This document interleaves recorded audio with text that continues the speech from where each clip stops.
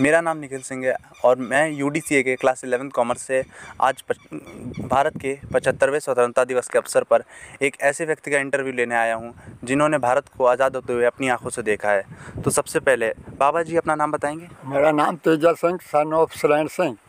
और पंजाब ज़िला नमा पिंड शाहजहा शाह शाहगढ़ और डिस्ट्रिक्ट कपूरथला तहसील महमदी का मैं रहने वाला था। अच्छा आप अपनी उम्र बताएँगे? हमारी उम्र उस वेले जब देश आज़ाद हुआ नौ दस साल की थी। जब भारत आज़ाद हुआ भारत आज़ाद हुआ। अच्छा तो भारत के आज़ाद होने से पहले का दृश्य बताएँगे? जो पहले हमने देखा जो पहले लोग रहते थे वो अंग्रेज़ और पहले इधर घूमने आए से हमारे ग्रैंड फादर बता रहे थे तो उसने आके इधर का वातावरण देखा, रहने सहने का, वो जे पंजाब को सोनी की चिड़ी माना जाता थी क्यों? ये खुशहाल एरिया से और जो हमारे लोग जब पहले वो हिंदुस्तान में जो पाकिस्तान अब बना है, उसमें सिंध में लालपुर गुजरा वाले में हमारे लोग बहुत रहते थे। और उधर वाले भी लोग इधर रहते थे तो जब अंग्रेज़ इधर आए तो उसने देखा पे यहाँ का वातावरण बहुत ठीक है तो हम यहाँ आके इसमें कुछ उन्नति करें, हमारा इसमें कब्जा हो जाए, इसमें हम इसको गुलाम कर लेंगे, हमारा शासन चलेगा। जब वो इधर घूमने आए थे, उसने उधर से पहले घूमने आए, फिर उसने जो एक फगवाड़ा में शुगर फैक्ट्री लगी है, नारंग कंपनी की जो वो दिल्ली का शेर था उसकी और मिलें भी लगी, वो तेतीस चौंतीस साल में लगी थी। उसमें हमने, वो पंद्रह सोलह साल सर्विस भी करके आया हूँ। अब तो हम चालीस, पैंतालीस साल हो गए इधर यूपी में आए में। तो एक मिल हो हमीरा में सी वो लोगों ने जो देश को ऐसे अपनी हो संपत्ति बनाने के लिए अपनी तरक्की करने के लिए कि हमारे लोग काबू आ जाएँगे तो इसलिए उसने कहा था। तो एक बात है, उसने जब देश को गुलाम बना लिया तो उसने जब उसके बाद कोई आवाज़ उठाता था, तब वो उसको गुलाम बना सके, उसको दबाते थी। और जैसे सुभाष चंद्र बोस जी, भगत सिंह जी, राजगुरु साहब याद शेखर जी, महात्मा गांधी जी तो इन लोगों ने जो स्कीम बनाई कि हम आज़ाद होना चाहते हैं, इनके गुलाम नहीं होना चाहते। और जब महात्मा गांधी जी ने लोगों को कपड़ा बुनना सिखाया, जे निमक बनाना सिखाया कि हम बाहर से ना मंगाएँ अपने काम करके आप कामयाब हों तो जो भगत सिंह या सुभाष चंद्र बोस जी, आज़ाद शेखर राजगुरु करतार सिंह सराभा जे नौ दस पार्टी थी, इसने क्या? जे हमें जे निम्रता रिक्वेस्ट से नहीं मानेंगे, हम इस पर दबाव डालेंगे तो तब हमारा देश छोड़ के जाएँगे और हमारे, तभी हम आज़ादी कर पाएँगे। ऐसे समय चलता चलता रहा, उसने सेशन भी किया। जब इसने बहुत ज़्यादा आवाज़ उठाई, एक बारी जिलिया वाले बाग में अम्बरसर उसमें इसने एक मीटिंग करी। सब लोगों ने, हिंदुस्तान के, पंजाब के लोगों ने, कि हम आज़ाद होना चाहते हैं। जब हम आज़ाद होने के लिए लोग सब इकट्ठे हुए तो उसने जो अंग्रेज़ लोग सी अड़बैर सी, उसने उस पर लोगों पर गोली चलवाई। उसको दबाने के लिए हज़ारों लोगों की जाने गई। उस वेले बहुत खून खराबा हुआ। बाद में फिर ऐसा ही काम चलता रहा। जब पाकिस्तान नहीं है, वो और ज़ोर पकड़े गए, कहीं बम फेंका कभी कुछ खड़ा और लाला या लाजपत राय जी ने भी अंग्रेज़ों की लाठियाँ सहियाँ, और उसमें लाठी जब लगी, तब वो उसकी मौत हो गई। तो इन लोगों ने सब यही प्लान बनाया सी, हमारी जान चाहे जाए, हम शहीद हो जाएँ, हम देश को आज़ाद करवा के रखेंगे। और जब जो इसमें बम बम फेंका तो वो वो पकड़े गए या भगत सिंह जी पकड़े गए, सहदेव गुरु जी पकड़े गए। जब सब पकड़े गए, इनको जेल में भी रखा पाँच छः साल। तो पाँच छः साल महीने तो जब अंग्रेज़ों ने देखा पे हमारा ऐसे काम नहीं चलता तो इन लोगों ने सोचा पे हम देश को कैसे करें?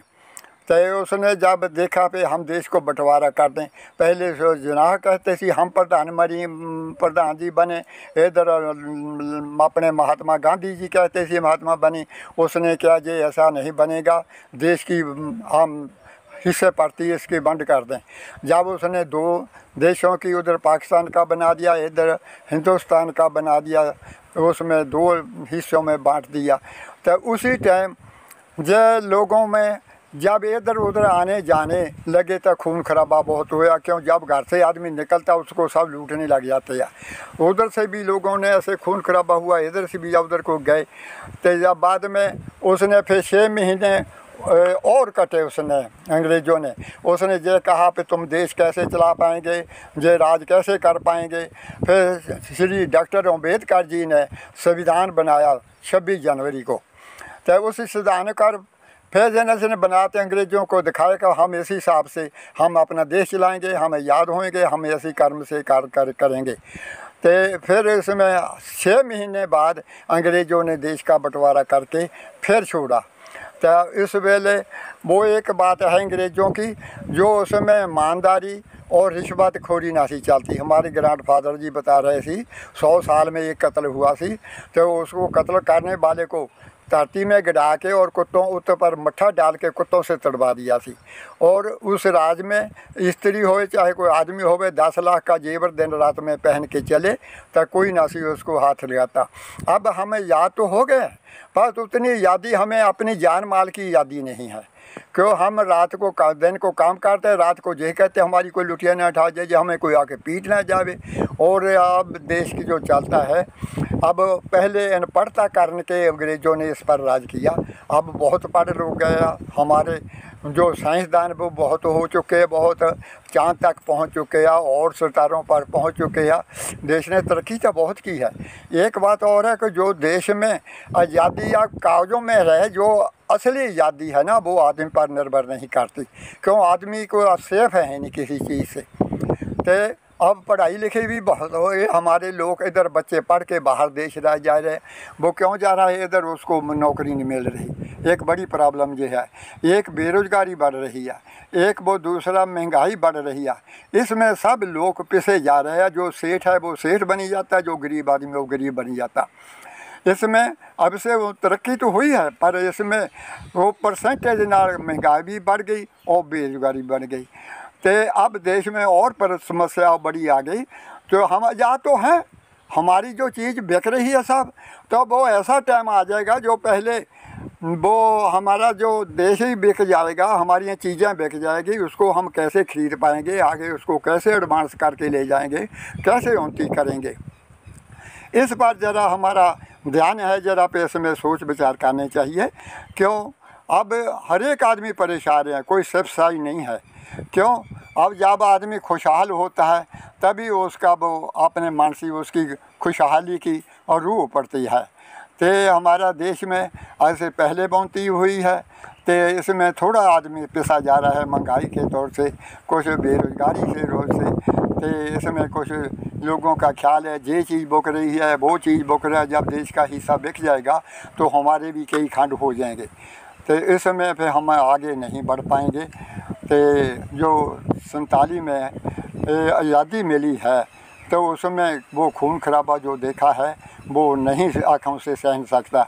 इसमें किसी राजनीति को, नेता के, जो प्रधानमंत्री का कोई कसूर नहीं होते, या भगवान से निगाह पर चलती या उसका कोई निगाह होती है कि ऐसे किसी जीवों का खात्मा हो या कैसे हो वो ऐसी प्लान बने रहता भगवान का जो काम है ये आदमी का काम नहीं है कि हम देश का बंटवारा कर दें या इतने को लोगों को मार दें ये जब भगवान की इच्छा होती है वो ही काम करता है। जैसे वो राम जी ने हुआ कृष्ण जी ने हुआ उसमें कितना कितना खून खराबा हुआ। जैसे उस वो खुद भगवान थे उसने खुद भगवान होने के सी भी जो जुल्म सका उसको रोका। सच्चाई को प्रकट किया झूठ को उसने दबाया। अच्छा तो जैसा आपने बताया कि मतलब भारत का बंटवारा होना ठीक था या नहीं था? ये बंटवारा हम जैसे अब भाई भाई रहते हैं तो उसमें जो पहले भी रह जाते तो उसमें आज़ादी ये चाहते थी। हर एक आदमी आज़ाद होता, जो उसकी गुलामी नहीं चाहते। जैसे आप कोई सेठ आदमी है, उसके हम नीचे, उसके गुलाम हो जाए, जो हमसे मर्ज़ी करवाएगा। और पहले जैसे बाहर देश आके हमला करते थे, इधर से सुंदर लड़कियाँ ले जाते बाहर बाज़ार में दे थी। तो जब ऐसा कोई काम हो जाएगा, तब जो सेठ लोग बड़े बड़े होंगे वो इधर से, वो ऐसी प्रॉब्लम हो जाएगी। तो इधर से सुंदर लड़कियाँ लेके जाएँगे। क्यों? हम जब उसके गुलामी हो जाएँगे, हमारे पास नहीं रहेगा। एक आदमी के हम थल्ले हो जाएँगे तो गुलाम तो हम उसके भी हो गए। है कि नहीं? अब हमें आज़ादी है, ठीक है, पर आज़ादी आदमी है, सिर्फ़ साई कोई नहीं है उसमें। हम आज़ाद में रह रहे हैं, हमें ये खुशहाली है, सब अपने परेशान है आदमी सारा। तो जो हिंदू और मुसलमान का जो दंगा होता रहता है, उस पर कुछ बताइए। देखो, जो दंगा है मुसलमानों का, इसी पर सिखों हिंदुओं को जो मुसलमानों का दंगा होता रहा है इसमें कोई ख़ास बात नहीं है। आदमी की जब सोच नीच होती है ना, झगड़ा उस वेले होता है।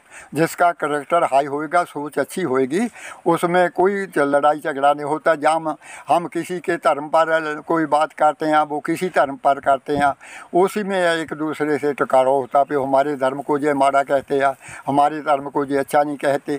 वो इसी टाइम में वो होता है। वो से जो यहाँ पहले के भी पंजाब में जो मुसलमान से वो बाहर गए। या वो इधर वाले को इतना नहीं मालूम हुएगा कि जी हाँ ये पहले के रह रहे हैं। है कि नहीं? अब भी हम उसमें जो पहले भी भाई भाई बन के रहते, अब भी होती है। अब जब घर में भाइयों भाइयों का बंटवारा है उसमें भी दिल में एक दूसरे से थोड़ा दराज पड़ जाती है। पहले वाला उसका प्रेम मोहब्बत नहीं रहता। ये ऐसे होता जब देश का बंटवारा हुआ, कोई जाति पात से कुछ हुआ, वो से हुआ तो थोड़ा वाला एक दूसरे को फिर उसमें नहीं ठीक लगा। तो वो लड़ाई झगड़ा कोई नहीं आदमी की जो सोच है जो ऊँची होनी चाहिए और करेक्टर सही होना चाहिए तो उसमें लड़ाई झगड़ा कोई सवाल ही नहीं होता। आप भारत से मतलब पंजाब से यहाँ उत्तर प्रदेश क्यों आए? इसके पीछे का कारण क्या था? जो हमारा पंजाब में हमारी ज़मीन कम थी। हम्म। उस वेले हमारे पास आठ एकड़ थी। हम्म। और हम चार पाँच भाई से तो उस वेले जब मैं इधर कहते सी भी ज़मीन मिलती है, इधर लोग उपजाऊ ना सी, धरती ना सी उपजाऊ। जे लोग जंगल जंगल खड़े सके या पानी का साधन ना सी, जब इधर हमारे लोग पंजाब से आया, इसने खेत खेत में मोटरें लगवाई, आके बोर करवाए हर एक खेत को सिंचाई कराई। तो तब जे देश पहले इधर वाले लोग तो जा चना जे बजरा जे उड़द जे बो देते सी, गाँव का एक पासा जानवरों के चरने के लिए रखते सी छः महीने, और दूसरे पासे फ़सल बोते सी। फिर दूसरे पासे चारा जानवरों को चरने वाली जगह फ़सल बोते तब होते सी। जे तभी देश के कमज़ोर, जे पहले जो कि देश पहले कमज़ोर तभी रहा। इसको ना था फ़सल काटने का पैदा न साधन ना सी, ना उतना ज्ञान था, और ना इसका पानी कोई साधन सका। आज वो सरकारी ट्यूबवेल भी लगे जे, बहुत बार के लगे, बाद में लगे आ तो हमारे यहाँ हम आए हैं दो तीन साल के बाद ये सरकारी कुर, कुआँ जे बीरपुर के पड़ोस लगा है, राजगढ़ उससे पहले लगा है ये रामगढ़ भी लगा, जे बीरपुर में सरकारी कुआँ लगा, जे हमारे यहाँ देखने में लगा है, हम उस वेले यहाँ अपना खेती बाड़ी करते थे, इससे भी आड़े द्वाड़े सिंचाई होती थी। तो यही लोग पछड़े हुए सी अब तो ये इधर भी बहुत तरक्की कर गया जो हमारे लोग इधर पहले रहते थे वो हमसे भी आगे जा रहे हमारी तरफ़ से देख देख के। अब मैं आपसे आखिर में ये पूछना चाहूँगा कि आप आज की पीढ़ी को क्या संदेश देना चाहेंगे? कि आज का युवा आज़ादी के मूल्य को समझ पा रहा है या नहीं पा रहा है? जो हमारे जो आज के युवा है जो लड़ाई पढ़ाई पढ़ाई कर रहे हैं हम उसको ये संदेश देते हैं ये आज़ादी के दिन कि जो उसमें चंगे अच्छे पढ़े लिखे, उसमें साइंसदान बने, उसमें साइंसदान बने, उसमें लीडरशिप में, उसमें राजनीति में आए और देश की सेवा करें ईमानदारी से। तो जे कहीं वो बाहला देश, उस पर कोई तय करता, जैसे भगत सिंह, महात्मा गांधी जी ने उसका टकराव लेके उसमें पिछाड़ा, ऐसे ही हम जे आपके युवा को कहीं का अपने देश को तरक्की ले जाना तुम्हारा फ़र्ज़ है तो आप तरक्की में के ले जाइए। जो लड़ाई झगड़े की या किसी धर्म में हमारा देश जो है ऋषियाँ मुनुओं गुरुओं का है। ये शांति पुंज है। वाले देश इतने भी हम शांति पुंज नहीं है, जितना हमारा देश शांति पुंज है। हमेशा शांति चाहते हैं, किसी से साथ लड़ना नहीं चाहते, किसी को हक छीनना नहीं चाहते, अपने हाथ से काम करके अपना खाना चाहते हैं, और खाना खा के दूसरों को खवाते भी है, और उसकी मदद करते हैं, जैसी भी होवे। तो हमारा यह युवा को यही संदेश है को जैसे अपने देश को आगे बढ़ाने की, ये तुम्हारी ज़िम्मेदारी है जे तुम अच्छे साइंसदान बनेंगे आगे ली, अच्छे लीडर बनेंगे ईमानदारी से काम करेंगे तो देश टोटली हमारा भगवान की दया से ऊँचे से ऊँचा दिनों दिन जाएगा रात दिन और दिन चुगना हो जाएगा। यही हमारी प्रार्थना नए युवा को है पदार्थियों को है या कोई और भी है हमारी यही हाथ जोड़ के उनको बेनती है कि अपने देश की समस्या समझें और आज़ादी को हम खूब समझिए कि हम कितनी मुश्किल से आज़ादी को ली है तो हम इसको बरकरार रखें। हम देश को आगे से दुगना तिगना और परसेंट से परसेंट आगे से ऊँचा लेना जावे।